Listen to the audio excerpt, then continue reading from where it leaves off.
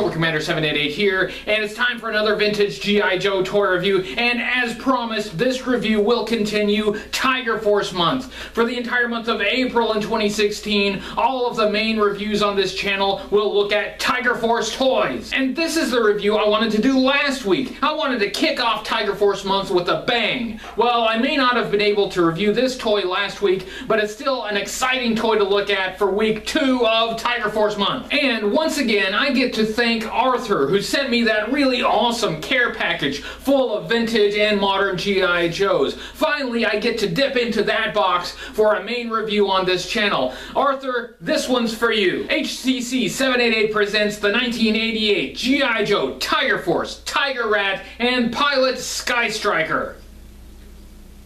This is the Tiger Force Tiger Rat and the pilot codenamed Sky Striker. This vehicle was introduced in 1988 and was also available in 1989 and was discontinued for the year 1990. The Tiger Rat was in the first wave of Tiger Force vehicles from 1988. The second wave from 1989 only had two vehicles, the Tiger Force versions of the Devilfish and the Vamp. Tiger Force was a sub-team within G.I. Joe, and the idea of Tiger Force, as it was expressed on the back of Tiger Force Duke's file card was uh, to use captured Cobra vehicles and re-outfitted G.I. Joe weapons to battle the forces of evil. There is absolutely nothing new in Tiger Force. Tiger Force entirely consists of reissued toys. Uh, the only new character introduced was the pilot of the Tiger Rat, uh, but even this action figure was made up of parts from older action figures. The Tiger Rat was a reissue of the 1984 Cobra Rattler. And the Cobra Rattler also came with a pilot. It came with Wild Weasel. The Tiger Rat, like the Cobra Rattler, is inspired by a real-world jet, the A-10 Thunderbolt II. Uh, but there are some modifications in the toy version, and we will talk about all of them. This wild, outlandish color scheme for Tiger Force vehicles may seem so out there that it could never happen in the real world. I mean, no one would really paint their jet like this, right? Tiger Force was inspired by the NATO Tiger Association, which has annual NATO Tiger meets. And the NATO Tigers uh, were formed to, to promote solidarity between NATO air forces. For their Tiger meets, the Tiger Association members paint their jets with wild colors, including tiger stripes, just like this. The 2016 Tiger meet will take place in Spain next month. The Tiger Rat did come with an action figure, the pilot, and you did hear that code name correctly. He is called Sky Striker.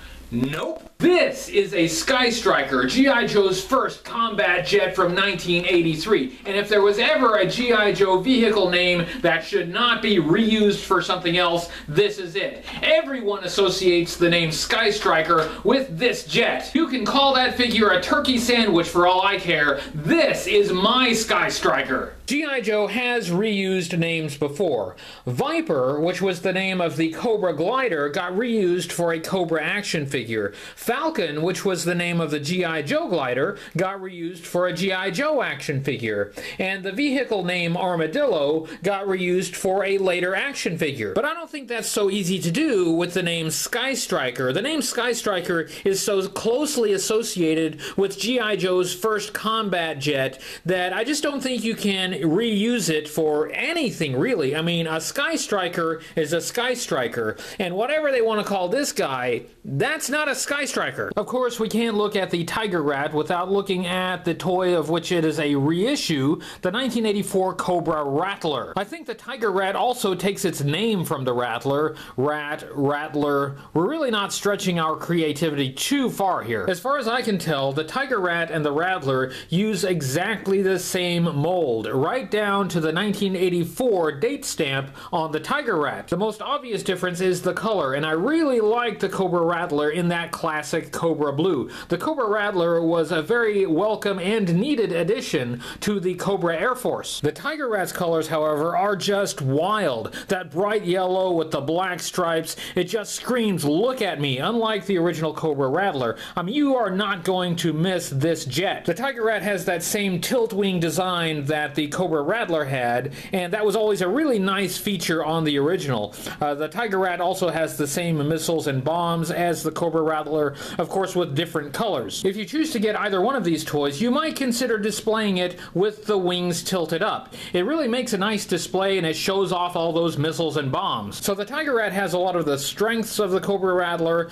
but it also has all of the Cobra Rattler's weaknesses, and we will talk about those in detail. Let's take a look at the parts and the features of the Tiger Rat, and before we get started, I would like to point out that this particular example has both United States and Canadian stickers. I'm not sure how that happened, but it is interesting. Let's start at the front, as we always do, and we have this nose cone here, which is made out of a slightly softer plastic than the main body of the toy. I wouldn't say that it's soft or rubbery, but it is slightly softer than the main body plastic. And then we have this nose cannon. And this, uh, the blueprints call a Jawbreaker CDY 9B nose cannon. I really like this feature. I would use this more than I would use the missiles and the bombs. There's lots of nice detail on there, and it has a little thumb wheel here, so you can spin the Gatling gun. Uh, just really cool. Very cool feature, very cool detail. And this nose cannon is inspired by the A-10 Thunderbolt, which has a similar nose cannon. Uh, on the A-10, it is the GAU-8 Avenger 30 millimeter auto cannon. It looks great, it looks fierce, it looks like it means business, and it is inspired by the real world. Now we have the canopy, and the canopy is in two parts. This main part, which uh, if you squeeze it and pull it open, you can open it up and put the pilot in. Uh, also, it has this front windscreen here, which if you kind of squeeze that, you can pop the tabs out, and that is removable. Without the canopy, we can look inside the cockpit and see some of the cockpit detail, and there is some detail there, some instrument panels, uh, some electronics. It's not a lot of detail, but it's more detail than the Sky Striker, I'll give it that. Let's look at these stickers on the sides, and I guess these stickers are supposed to be like tiger teeth and eyes. They look more like shark teeth to me, and that does harken back to another G.I. Joe jet with shark teeth, uh, the X-30 Conquest. Notice the color fade from white to brown to yellow. Uh, that must not have been very easy to do. I mean, uh, they probably would have saved money just by making this whole jet yellow, but they actually did this kind of color fade there. Uh, that is very impressive uh, for a reissue vehicle, uh, which really just stamped out an old vehicle. They did kind of add something there. You can fit the pilot in the cockpit like so. Uh, he can go in straight-legged. You don't have to bend his legs.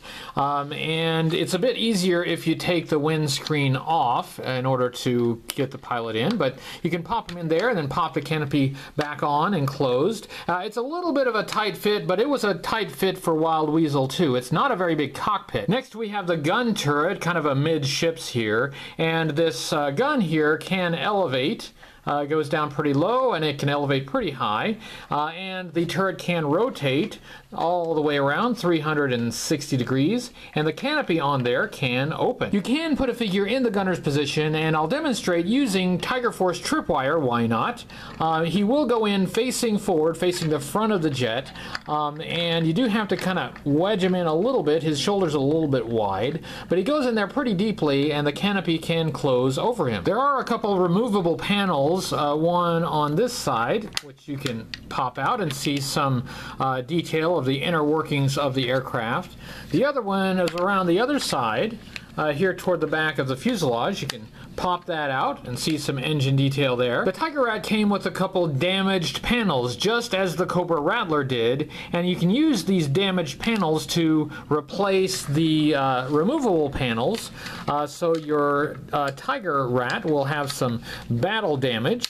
So you can just replace that one. You can see some bullet holes in the side there. Not bad. Uh, swing that back around and just uh, pop the damaged panel in on the other side.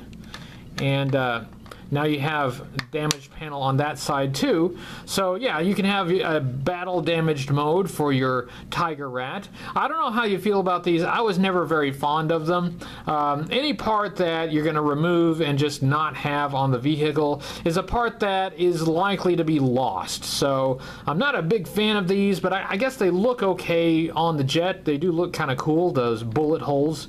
But uh, yeah, that's that's something that's going to go missing pretty easily. We have these two things on the side here, and my understanding is that those are supposed to be lights, like floodlights or something like that. The Tiger Rat has three jet engines, and that is a bit of a departure from the real-world jet that inspired it. Uh, it has one jet engine here at the tail, and that's pretty much static. You can see the turbine sculpted on there. It has uh, an engine on each wing, and each of these engines has a removable engine cover. Uh, that allows you to see some really nice engine detail. Uh, looks really good, and this is a feature that I really liked on the Cobra Rattler, and I do indeed like it very much on the Tiger Rat. The Tiger Rat is a VTOL jet, or vertical takeoff and landing, uh, which means that it can take off and land kind of up and down like a helicopter uh, without taking off on a long runway. And more specifically, the Tiger Rat is a tilt wing aircraft, uh, meaning that its wings tilt pointing the jet engines up, allowing the jets to lift the aircraft into the air. This is a departure from the A-10 Thunderbolt. The A-10 was not a VTOL jet, but a tilt wing design is a real thing. Uh, tilt wing planes have existed, but uh, tilt wing aircraft are usually propeller driven aircraft, not jets. Uh, there are jet VTOLs, but they usually go about it in a different way. Now it's time to look at those great missiles and bombs, and to do that we really need to turn it upside down and we can see that vast array of weapons. I mean, it's really just bristling with weapons. Um, and as you can see, most of them are colored red to provide a contrast uh, with the yellow and the black. Each of the bombs and missiles fits on the airplane on this peg uh, in a dumbbell shaped slot. Uh, and that is universal, so you can move them around and swap them out and put them in any configuration you wish. Let's start with this one, and the blueprints call this one a LORADS constant scan two-stage missile, and it actually does come apart in two stages. If this is based on a real-world missile, I have not been able to identify it. Then we have this one, which the blueprints call an EO-118 electro-optical renegade bomb. By electro-optical, what they're saying is this is a camera bomb. It's a bomb that's equipped with a camera that transmits a bomb's eye view back to the aircraft. Next we have four of these black missiles and I don't know what they are. Uh, I've looked at the blueprints a couple times and I don't think they're identified. They're just missiles. On the wingtips we have bomb racks, each with three bombs. The bomb racks are removable and the bombs are removable from the racks. The blueprints call these PL Mark 48 radar sensitive cluster bombs. A cluster bomb is a bomb that releases multiple sub-munitions. These are red and they have a little shark face on them and that that is adorable. Now we have to talk about the weakest part of this toy. It was the weakest part of the Cobra Rattler, and it is still weak on the Tiger Rat, and that is the landing gear. When I say the Cobra Rattler and the Tiger Rat use the same mold, I am not kidding. These tires still say Cobra VTOL. These landing gear are extremely fragile, as they were on the Cobra Rattler. Uh, they're really just uh, the wheel attached to a long, thin piece of plastic that's holding it on, in the front and the back. And and it takes a fair amount of force to push the landing gear up and pull them back down, uh, which means they are going to break very easily. They are woefully under-engineered. To make matters worse, when these back landing gear are out, they don't snap into place, you know, completely down like that. They tend to tilt inward, which is going to make your jet sit cockeyed. It can be a real chore to get the Tiger Rat to sit on its wheels rather than tilting over like that. As with the Cobra Rattler, I will demonstrate the landing gear one time, and then I'm not going going to touch them again because I don't want to break them. There is no mechanism, you just push them up and pull them back down. All right, landing gear up, back one up, back up, and then the front one carefully up. To get them back down, you just pull them down as gently as possible until they get over that little uh, snap there. Pull the gear down ever so gently until they sort of lock into place and once you get them either up or down, however you'd prefer to uh, display the Tiger Rat, just leave them. We have to look at the paint deco on the Tiger Rat because I think that's a feature. We rarely got painted vehicles in G.I. Joe and when we did get them, they were usually like more traditional camouflage like the Slugger, which I loved. I only wish we could have gotten more of of that, but for the most part, G.I. Joe vehicles were unpainted. But on the Tiger Rat, you have multiple paint sprays, and they are really bold. They are not subtle at all. Now, you may love Tiger Force or you may hate it, but you have to admit, uh, this was something special. This did not happen all the time. And I think they really needed to do that because this is a reissued toy, and they're asking kids to buy a toy that they already have. So if they're going to do that, they really have to add something special, and I think the paint does that. Maybe we would have preferred them to use different colors, but the Tiger Force vehicles were inspired by the NATO Tiger meet. So even in their garishness, they are grounded in the real world. Let's take a look at Sky Striker. Here you go, a look at the Sky Striker. Starting with his accessories, and the accessories, like the rest of the action figure, are just reused and recolored parts. And these accessories come from the 1984 G.I. Joe Slugger driver, Thunder. This helmet, headset, and visor reuses the mold from Thunder's helmet, headset, and visor. But that's not all this action figure gets from Thunder, uh, and we'll get to that in a minute. Let's go ahead and pull this helmet off and take a closer look at it. This is a three-piece assembly, and it does look pretty cool when it's all put together, but you can take it apart by pulling the headset off. Uh, and this headset fits on the helmet with a couple pegs and it has a couple antennae on there. The pegs of the headset also fit through the holes on this clear visor. This visor is clear and the one that came with the 1984 Thunder was black. G.I. Joe did have other clear visors like the one that came with this 1982 Hawk action figure, uh, but you can tell if you have a Sky Striker clear visor. Uh, for one thing, the Sky Striker visor is a little bit smaller than those 1982 visors. The 1982 visors uh, only had pegs on the inside of the visor to connect it to the helmet, but Sky Striker's visor has holes in the side, and Sky Striker's visor has a little notch there for the nose. At the bottom of everything is this standard helmet, and I would call this a burnt amber color.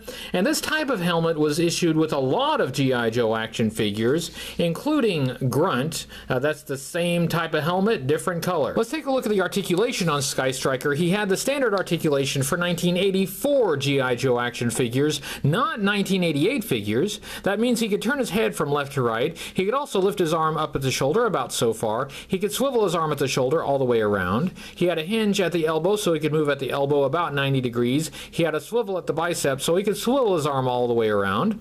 Uh, the figure was held together with a rubber O-ring that looped around the inside. That allowed him to move at the torso a bit. He could move his legs apart about so far. He could move his leg at the hip about 90 degrees, and he could bend at the knee about 90 degrees. Let's take a look at the sculpt design and color of Sky Striker, and once again, this is where he borrows from Thunder. That head sculpt originally was Thunder's, it's just a different hair color. Uh, Sky Striker has brown hair, and Thunder was a ginger. There's nothing wrong with this head sculpt, it's a really nice head sculpt, I like it. It's just a head sculpt that belongs to somebody else. It's not a terrible thing when G.I. Joe figures reuse parts, but I have a harder time with it when they reuse heads because it makes G.I. Joe look like the clone army. The rest of Sky Striker comes entirely from Wild Weasel. That is Wild Weasel's body just recolored. On his chest he has a bright orange shirt or jacket with tiger stripes. That's easier to see on the back. Now this orange color is closer to the yellow end of the spectrum,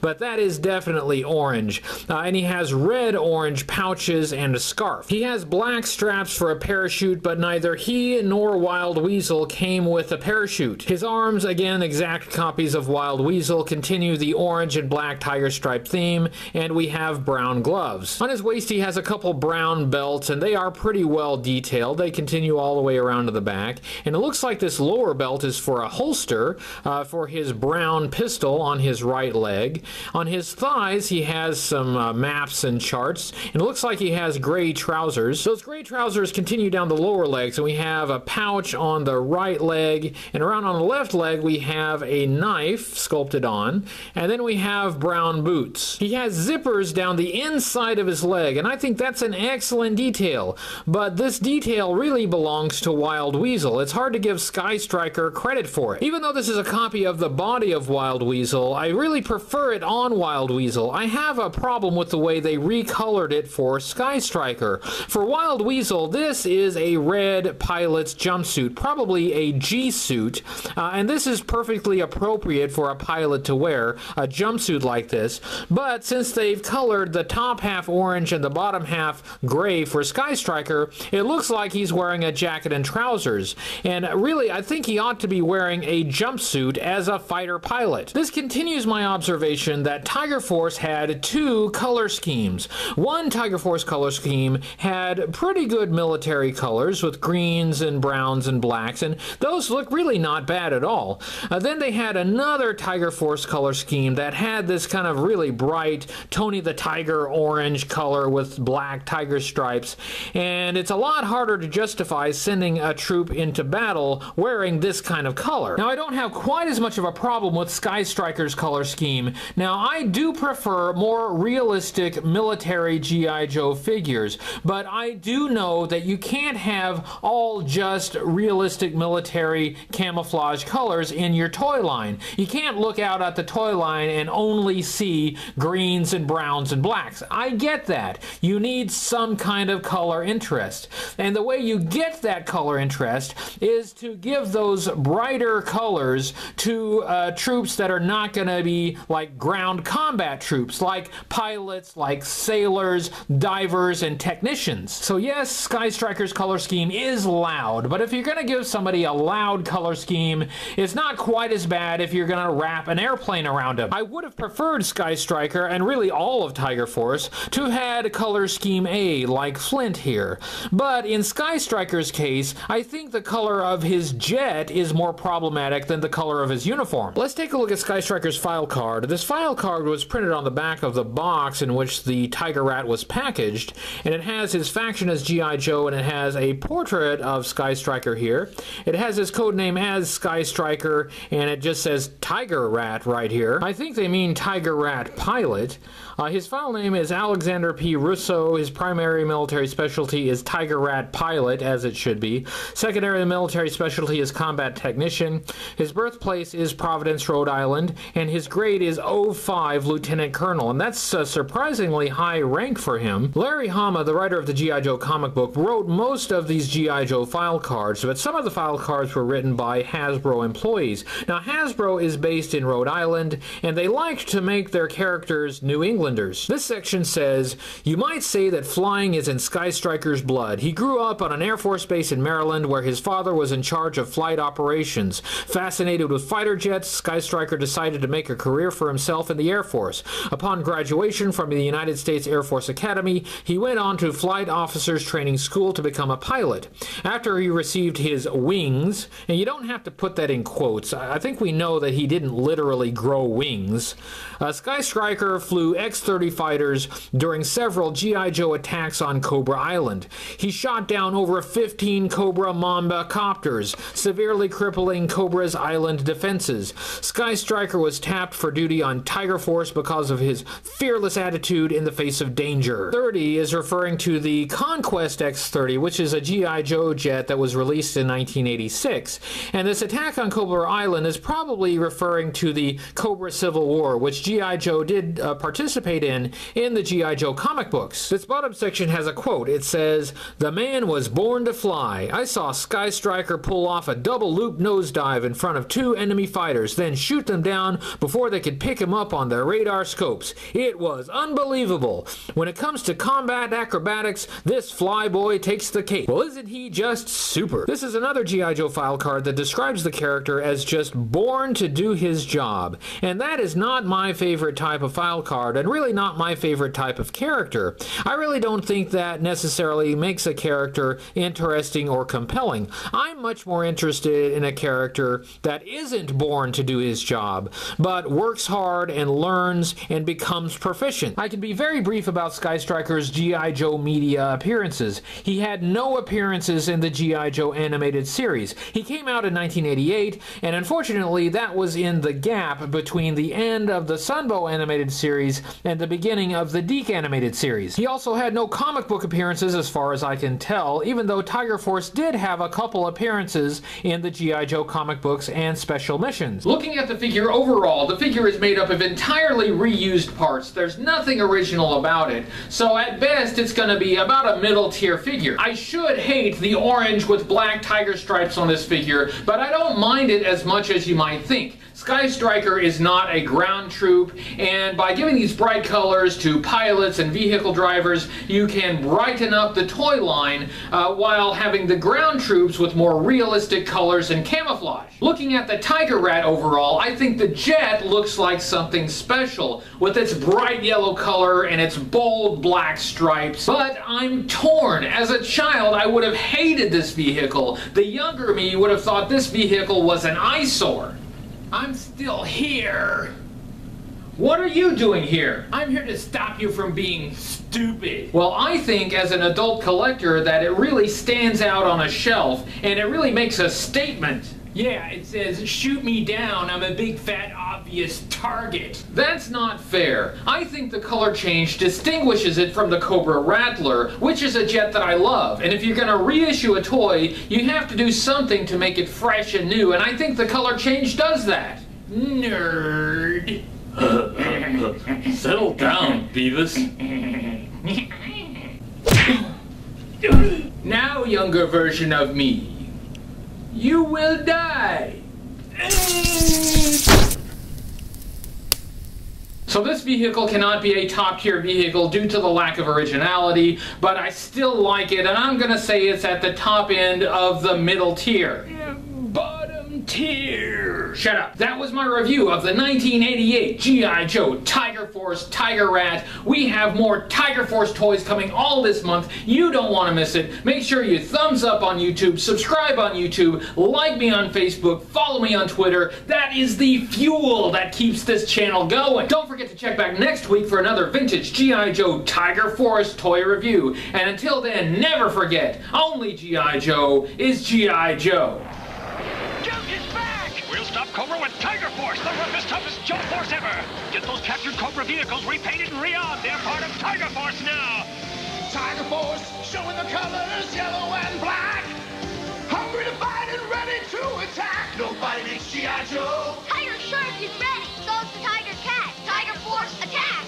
Nobody beats G.I. Joe. Tiger Force. Tiger Force. Vehicles and figures sold separately. Joe, Joe.